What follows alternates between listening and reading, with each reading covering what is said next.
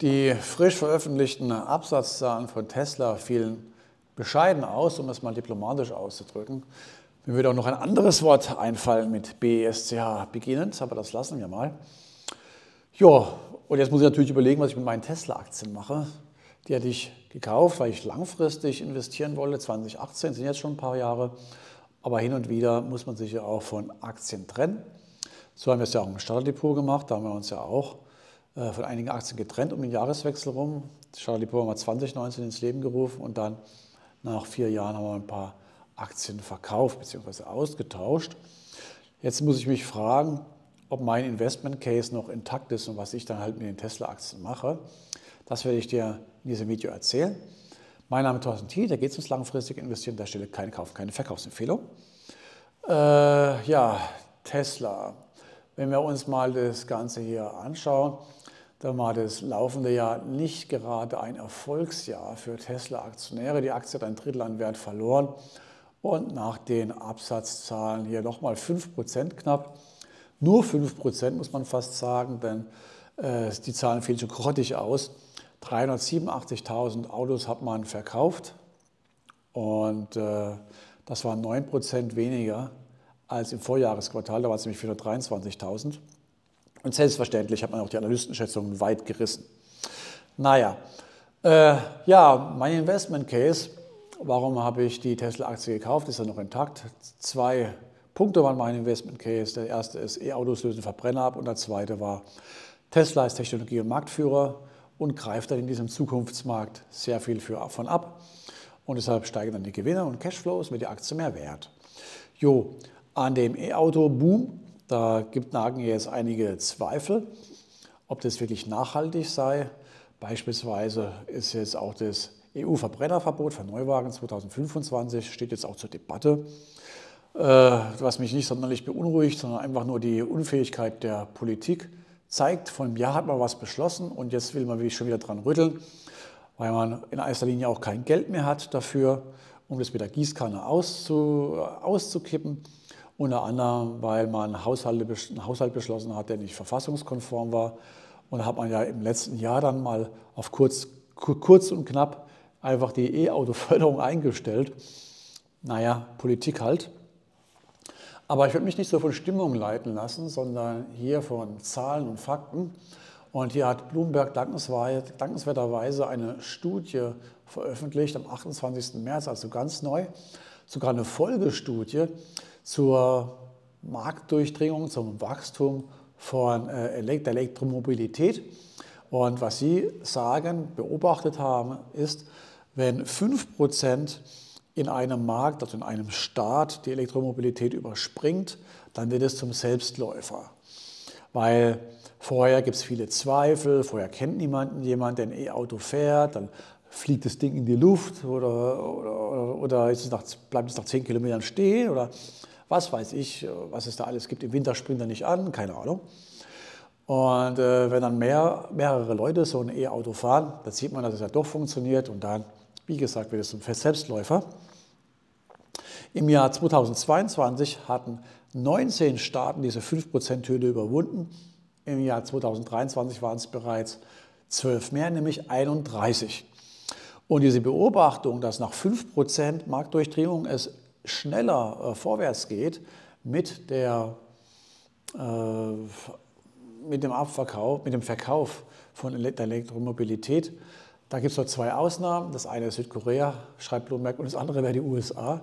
Die USA hat eine Marktdurchdrehung momentan von 8,1 Prozent. In Deutschland sind wir bei knapp 20 und in China bei knapp 25 Prozent. Und wenn man das so liest, dann kommt man schon zum Schluss, dass ja Elektromobilität äh, ist weiterhin, wird weiterhin den Verbrenner ablösen. Also das wäre nach wie vor intakt, diese Aussage für mein, meines Investment Cases. Die andere Aussage wäre ja, Tesla ist Technologie- und Marktführer bei E-Autos ist das noch intakt. Und da ist interessant bezüglich Marktführer. Wir haben ja BYD. Die BYD hat Tesla beim Abverkauf die Krone weggeschnappt im letzten Quartal, im vorletzten Quartal, im vierten Quartal 2023. Und jetzt ist der Abverkauf bei BYD so stark eingebrochen, Das ist ja ist übrigens nur äh, China und deshalb ist Tesla immer noch unten drunter. Aber da ist so stark eingebrochen, dass wenn man äh, global das Ganze sieht, BYD verkauft ja fast ausschließlich noch in China seine Autos, dass Tesla wieder mehr Autos verkauft hat, E-Autos, als BYD. Das zeigt uns zwei Sachen. Das eine ist, dass bei das Absatzproblem nicht Tesla-spezifisch ist, sondern BYD hat es auch erwischt, hat sogar noch stärker erwischt als Tesla. Das ist das Erste. Und das Zweite ist, Tesla ist immer noch ganz vorne mit dabei, was ich gleich auch noch weiter ausführen würde bezüglich jeder Marktführerschaft. Ähm, was Hoffnung macht übrigens, das ist hier, das sind die Abverkäufe von BYD nach Monat. Januar und Februar waren ganz schrecklich und dann März, im März gab es eine sehr starke Erholung. Das heißt, der Einbruch im Januar, Februar war einfach stark. Und wenn es jetzt so weitergeht, macht es schon Mut, dass die nächsten Monate dann auch wieder normal verlaufen werden bezüglich der Absatzentwicklung in China und dass dasselbe dann halt auch für Tesla gilt, nicht nur für BYD.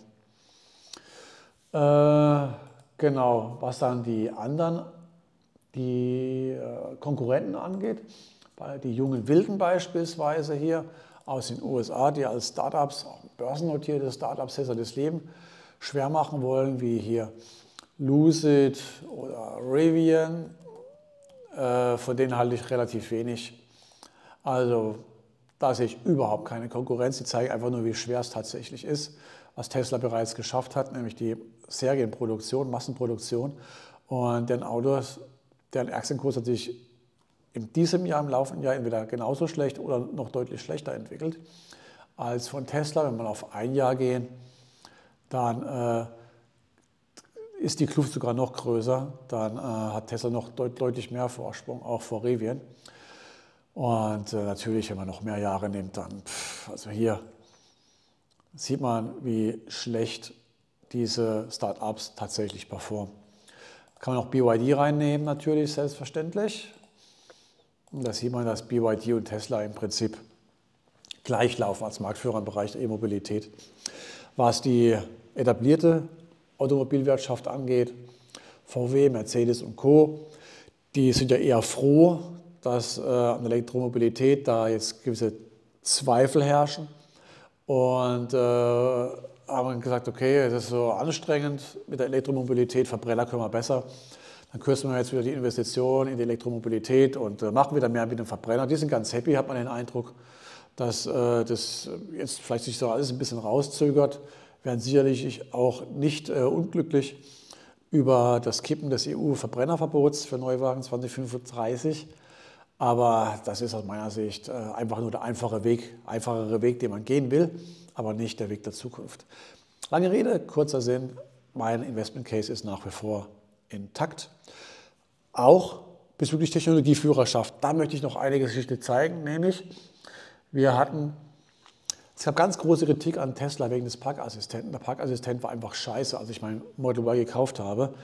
Äh, wenn ich geparkt hatte, war die Hälfte der Motorhaube bereits in der Wand drin. Das hat also überhaupt nicht funktioniert. Und äh, ich bin am Auto gesessen, meine Ex-Frau. Es war ein 14 Jahre alter Ford Focus, der diese normale Radarlösung hat.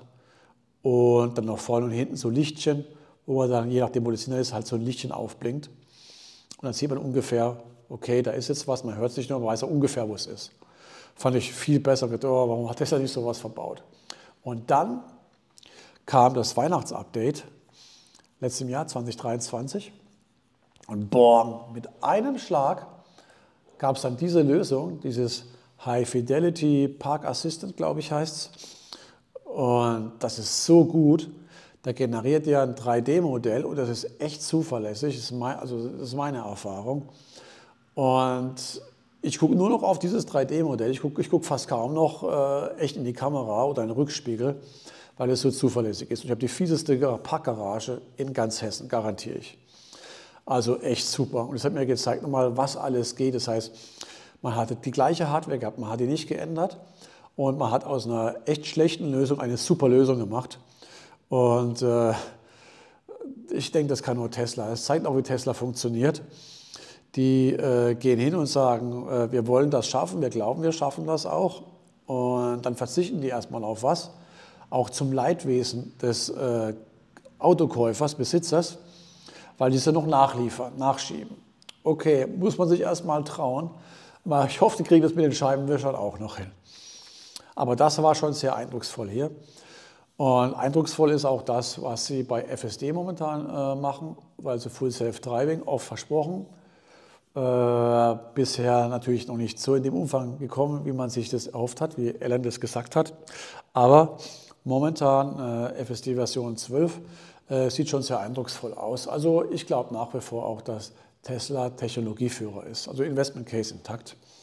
Dann müssen wir mal gucken, was die Aktie so auch fundamental macht momentan. Tesla, sehr starke Bilanz, äh, schuldenfrei, äh, immer noch Free Cashflow positiv, auch im nächsten Quartal, müssen wir mal schauen. Das wird natürlich ganz interessant. Was, ich aber, was man hier aber sieht, ist, die können eine längere Durststrecke auch durchhalten. Was übrigens auch interessant ist, weil immer gesagt wird, Tesla hat einen Preiskrieg losgetreten. Ja, Tesla hat den Preiskrieg losgetreten, aber es gibt keine Preissenkung mehr. Im letzten Quartal gab es keine Preissenkung mehr. Müssen wir mal gucken. Hier wenigstens keine wesentlichen mehr. Ja, das ist schlecht, dass der jetzt neu geladen wird. Ähm, ich wollte eigentlich die Grafiken haben bezüglich der Preisentwicklung, die jetzt irgendwann mal kommen müssten. Mhm. Hier sind sie. Einmal für die USA und einmal für China. Und wenn ihr euch das anschaut, dann seht ihr hier, das ist das neue Jahr, hier Januar. Das sind keine großen Sprünge mehr bezüglich nach unten. Ganz klein, da geht es tendenziell eher wieder nach oben. Und in den USA ist dasselbe. Äh, das heißt, Tesla wird jetzt nicht mehr hingehen. Ich glaube, an, an, an, der Preisschraube und an der Preisschraube weiter drehen. Zum einen, weil es vermutlich auch sein kann, dass sie mit den bestehenden Automodellen nicht mehr viel die Kosten senken können. Zum anderen aber auch, weil sie gesehen haben, dass der Absatz nicht unbedingt mehr angekurbelt wird, indem man die Preise runter macht, sondern dass die Leute eher noch länger warten und verunsichert werden bzw. sich ärgern, wenn sie das Auto zu früh gekauft haben. Auch bei den äh, Leasingkunden, Geschäftskunden hat es ja für massive äh, Unzufriedenheit gesorgt, dass die Autos mehr und mehr also so schnell an Restwert verlieren. Ich glaube, jetzt geht Tesla einen anderen Weg, unter anderem auch den Weg der Werbung. Sie schalten jetzt Werbung auf äh, Instagram, Facebook und soweit ich weiß auch auf YouTube, was ja auch ein richtiger Strategiewechsel ist, meines Erachtens auch ein richtiger Schritt. Naja, okay, aber Tesla ist immer noch aus einer Position der Stärke heraus agierend, auch wenn hier der Gewinn laut Analystenschätzungen dann in diesem Jahr einbrechen soll und auch sicherlich hier der freie Cashflow, oh, der freie Cashflow soll sogar steigen, ist interessant. Hängt natürlich extrem davon ab, wie viel die ausgeben für neue Fabriken. Äh, gehen wir kurz noch in die Bewertung rein, dann sehen wir hier den Verlauf anhand des bereinigten Gewinns, also des KGV. Auch mal hier, wo Tesla nur ein 27er KGV hatte. Man kann auch den operativen Cashflow nehmen, der eignet sich meines Erachtens sogar noch besser als der operative Gewinn. Und den werden wir auch nehmen, um die Aktie zu bewerten. Das KCV bei unter 26. Und man sieht hier, wie die Analysten immer noch davon ausgehen, dass es weiterhin sinken soll, weil, es, weil der operative Cashflow auch weiterhin steigen soll in der Zukunft. Müssen wir mal gucken, was die nähere Zukunft bringt und was die Zahlen zum ersten Quartal sagen. Aber wenn es so eine Erhöhung gibt, wie da, was hier diese Grafik suggeriert, dann könnte das äh, Jahr 2024 gar nicht so schlecht laufen. Äh, gehen wir zurück zum Aktienfinder in die Bewertung rein. Und die ist natürlich bei für Tesla sehr schwer. Hier nehmen wir den operativen Cashflow. Oder gehen wir mal einfach mal auf die letzten fünf Jahre und blenden hier den Fair Value Cashflow ein. Und dann sieht man, dass es gar nicht schlecht aussieht hier. Also man, äh, der Aktienkurs respektiert den fairen Wert schon irgendwo. Man sieht hier die starken Überbewertungen, dann hier die Unterbewertung, als die Aktie richtig abverkauft wurde. Und momentan lege jetzt der faire Wert bei 184 US-Dollar der Tesla-Aktie, basierend auf einem fairen Kurs-Cashflow-Verhältnis von 48. Damit muss man natürlich einverstanden sein. Und dann hätten wir hier basierend auf den Konsensschätzungen den jeweiligen fairen Wert. Der würde jetzt zum Beispiel im Jahr Ende 2026 bei 304 US-Dollar liegen, was einer Rendite entsprechen würde von 25 Prozent auf die nächsten zwei, drei Vierteljahre, jährliche Rendite aufs Jahr gerechnet. Ne? Insgesamt wäre es eine Rendite von 83 Prozent. Äh, hier gibt es nur noch einen Analysten, deshalb nehmen wir das auch mal nicht rein, das ist aber auch die Warnung hier. Jetzt ist aber Tesla schwer zu bewerten und was wir im Aktienfinder ja gemacht haben, ist, wir haben den Prognosekorridor eingeblendet. Das heißt, wir zeigen auch die, den fairen Wert an, nicht nur basierend auf der Konsensschätzung, den Median, sondern auch auf den Extremwerten, Extremschätzungen und Analysten. Und das wäre dann hier. Und dann sieht man, wie extrem weit das auseinanderklafft. Hier ist es ganz extrem für den fairen Wert für das Jahr 2025. Geht dann hier wieder ein bisschen zusammen, weil offensichtlich derjenige, der total optimistisch ist, keine Schätzung mehr abgegeben hat, vermutlich für das Jahr 2026. Nehmen wir mal das Jahr 2026, wo noch fünf Analysten hier sind für den operativen Cashflow. Und das sind ihre Schätzungen, das ist die Spanne. Und da hätten wir dann also einen fairen Wert von 382 US-Dollar, das wäre die positive Schätzung. Das wäre dann eine jährliche Rendite von 35 Prozent. Und die pessimistische Schätzung, die hätte einen fairen Wert von 243 US-Dollar. Da hätten wir eine jährliche Renditeerwartung von knapp 15 Prozent, was ja immer noch deutlich über dem Durchschnitt wäre. Ja, äh, jetzt kann es noch sein, dass die nächsten Tage die Schätzungen noch ein bisschen nach unten gehen. Das sind also die top aktuellen Schätzungen, die werden täglich aktualisiert. Nachdem die Absatzzahlen so schlecht waren, gehe ich davon aus, dass jetzt auch hier die Schätzungen etwas nach unten korrigiert werden. Kann man hier dann auch noch die Bewertungslinie machen, ein äh, bisschen rumspielen oder man wartet einfach noch ein paar Tage. Äh, dann sieht man mehr, beziehungsweise am 24. April, glaube ich, äh, werden dann auch Quartalszahlen veröffentlicht, kann man auch noch abwarten, wenn man sich überlegt, die Tesla-Aktie zu kaufen. Äh, ansonsten habe ich ja schon durchblicken lassen, mein Investment Case ist noch intakt, das heißt, ich werde die Tesla-Aktien einfach behalten. Vielleicht noch ein Wort zu äh, den Risiken bei Tesla. Die sehe ich also weniger darin, dass äh, E-Auto nur ein Hype ist und nicht tatsächlich den Verbrenner ablöst, das sehe ich nicht. Ich sehe auch nicht, dass Tesla die Technologie- und Marktführerschaft verliert, dass BYD ihnen wieder die Krone abnimmt bei der Anzahl äh, von abgesetzten Autos.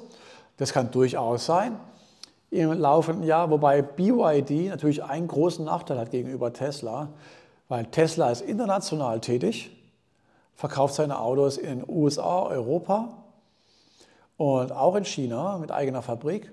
BYD äh, will nach eigener Aussage in den USA überhaupt nicht Fuß fassen. Der Markt ist zu kompliziert, auch politisch. Und Europa fangen es jetzt erstmal langsam an mit einer Fabrik in Ungarn. Und äh, da haben die also noch viel Arbeit vor sich, bis die auch international diversifiziert sind. Politik ist aber auch ein Risiko und äh, speziell bezüglich Elon Musk. Und damit meine ich nicht nur die politischen Posts, die er macht, sondern damit meine ich auch im Prinzip die Kehrseite des Erfolgs, nämlich dass seine Technologien Schlüsseltechnologien sind, die für die Regierungen sehr interessant sind, unter anderem auch für die US-Regierung. Hier beispielsweise die SpaceX äh, hat jetzt arbeitet mit der amerikanischen Regierung zusammen, um äh, Star Shield äh, zu implementieren. Das ist ein äh, Spionagenetzwerk aus Satelliten der nächsten Generation. Und China beispielsweise gefällt das überhaupt nicht. Äh, natürlich, dass sie jetzt noch besser beobachtet werden können, was sie tun und treiben. Und äh, denen gefällt natürlich nicht, dass Elon Musk das auch noch unterstützt. Genau, der Elon Musk, der in Shanghai eine Gigafactory betreibt. Und äh, das kann natürlich dazu führen, dass die Kommunistische Partei Druck auf Elon Musk ausübt, um hier äh, missliebige Entscheidungen oder Entscheidungen irgendwie zu beeinflussen in ihrem Sinne. Da haben wir also durchaus politische Risiken. Ähm, das ist nur ein Beispiel. Wir haben den Tarifstreit, aber allgemein dreht sich, dreht sich darum, dass Musk im Prinzip ein Globalisierer ist, aber Globalisierung mittlerweile nicht mehr im Trend liegt, sondern eher Abschottung und äh, politischer bis hin zu militärischem Konflikt. Und das kann natürlich auch Tesla böse auf die Füße fallen. Ich hoffe, dass es nicht passiert. Und ich finde toll, dass es Unternehmer gibt äh, wie Elon Musk, die weiterhin äh, global denken, nicht nur im Sinne von, wir wollen die Menschheit retten, deshalb müssen wir den Mars kolonialisieren, bevor wir alles zugrunde gerichtet haben, sondern quasi auch schon im kleineren, also beim konkreten Wirtschaften. Wobei das E-Auto, oh, jetzt fange ich an, so viel zu erzählen, wobei zum Beispiel der Cybertruck und andere Autos, die in den USA produziert werden, die äh, die meisten Anteile haben an den USA, also Produktionsanteile haben, Made in America. Andere Geschichte. Naja, also es gibt auch Risiken, aber nichtsdestotrotz, mein Investment Case ist intakt. Ich behalte die Tesla-Aktien. Und yes, wäre natürlich interessant, weil da scheiden sich ja die Geister an Tesla. Was hältst du von der Aktie? Äh, kannst du meine Entscheidung nachvollziehen? Würdest du die Aktie eher kaufen, verkaufen, halten? Happy to discuss. Danke fürs Zuschauen und bis zum nächsten Video. Ciao.